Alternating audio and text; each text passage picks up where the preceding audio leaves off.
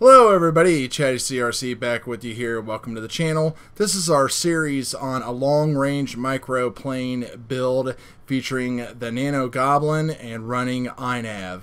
Now, I'm going to go ahead and put a link up here in the top for the playlist to the entire build list, and you should see that right now.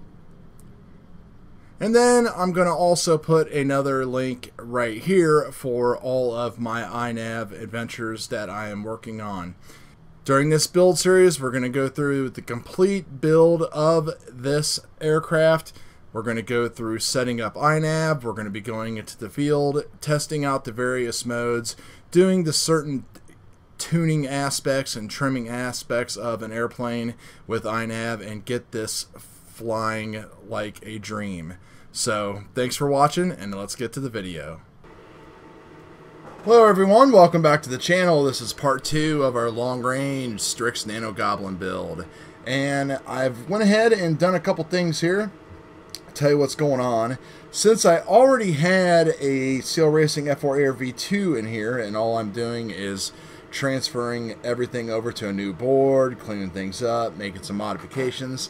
I did a complete dump and of the actual board and copied and pasted that into the new CLI of the new board and entered that in, saved it. So the board is all set up the way that it was before with all of my settings.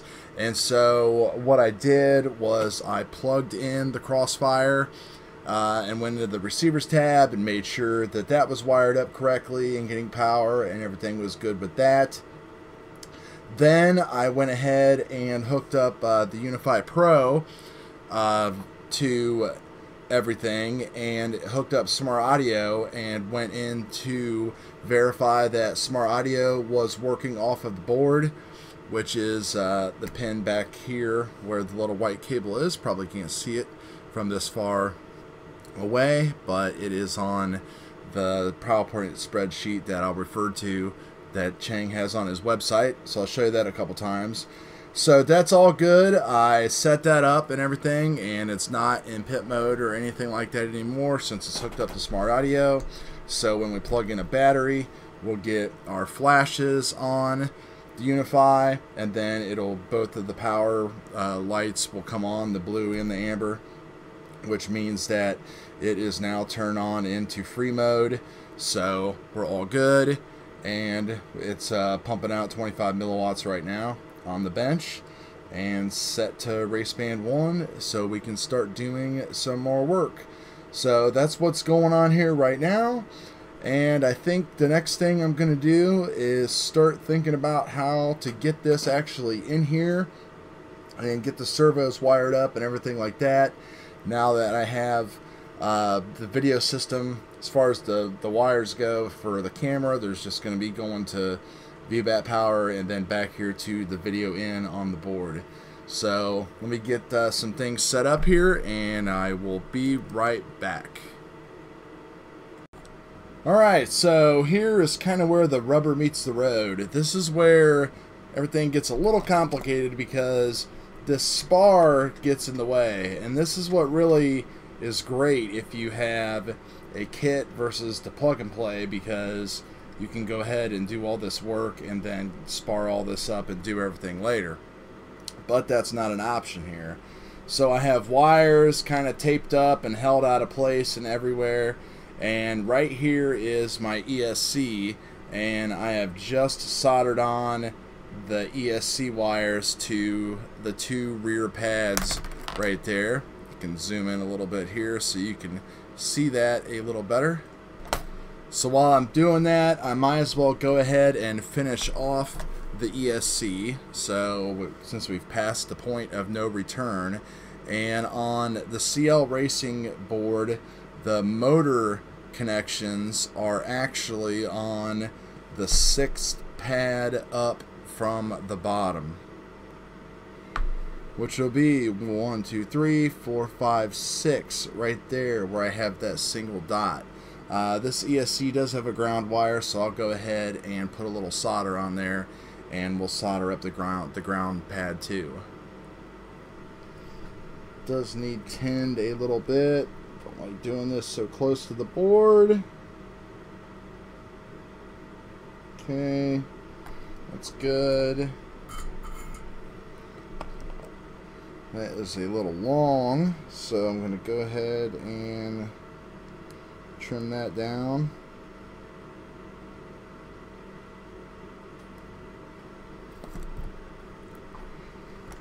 And now, it's not going to reach, so pull up the tape here. And move our board back a little bit. Tape it back down.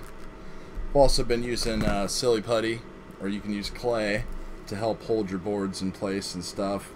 I don't find that helping hands are really that helpful when you're in a situation like this.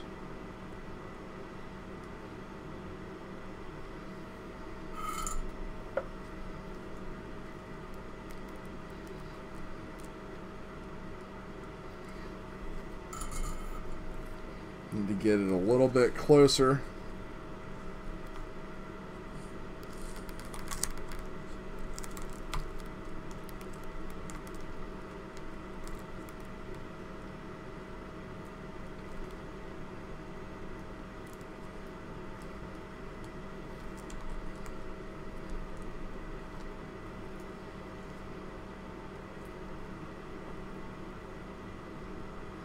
Right about there.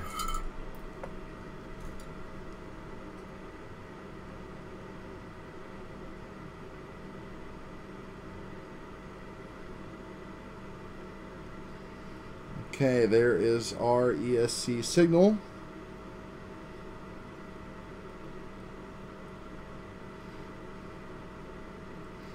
Of course, the ground needs some tin as well.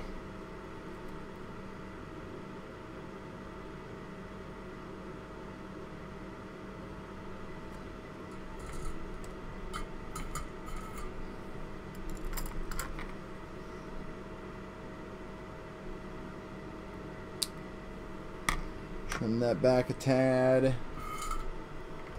And it's really close to that wire, and this is plastic wire, so I don't want to get going too crazy here so I don't melt it.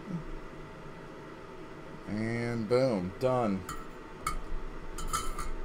Okay, I don't know how much of that you could see on camera, but now we have our ESC signal and ground pad, and we have power. So let me go ahead and clean this up a little bit and reset and we'll be right back and see what we're going to work on next. Alright, so I think we will go ahead and work on the signal wires for both of the Elevons now. And then after that, we should be able to mount and place the board and then go ahead and wire up this uh, BEC afterwards. So, to go ahead and secure this board a little bit. So we have in a fixed wing converse, uh, in a fixed wing configuration. Uh, this wing over here, actually, this Elevon is going to be number three, and this is going to be number four on this side since we're looking at it upside down.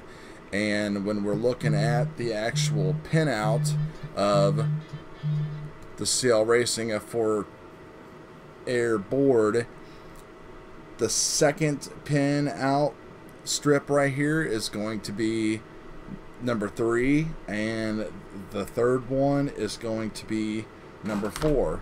So I have both of my wires here. I just need to figure out which side they are coming from. So I'll get them off of my silly putty here.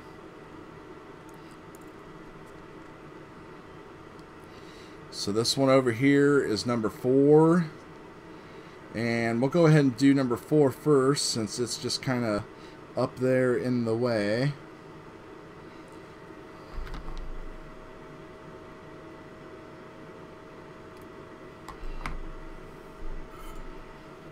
A lot easier just to do this because we're using the BEC, so we don't have to worry about our power and everything like that. So I'm going to trim these a little shorter. Alright, again, this is number four, and that's going to be the third pad up. And that is going to be on the very top pad here.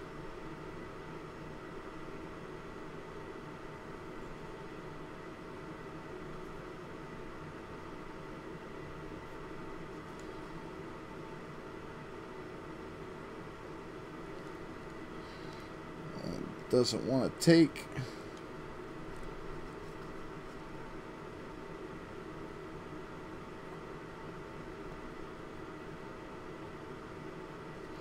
There we go.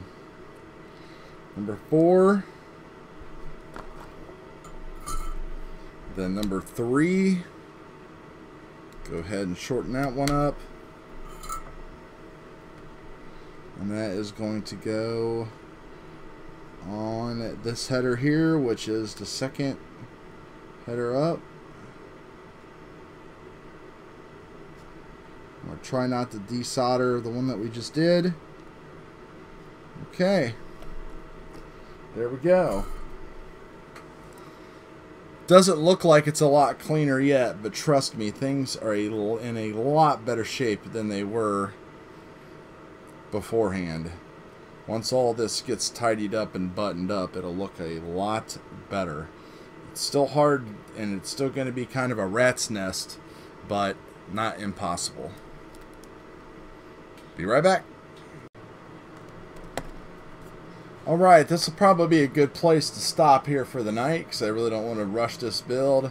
Got plenty of rain coming for the next couple days. But one thing I did want to say is I did put a video up on this and you might want to check it out. But one thing that I am very concerned about is cooling everything. And what I have been doing is making air scoops out of plastic spoons. So it's real easy to do.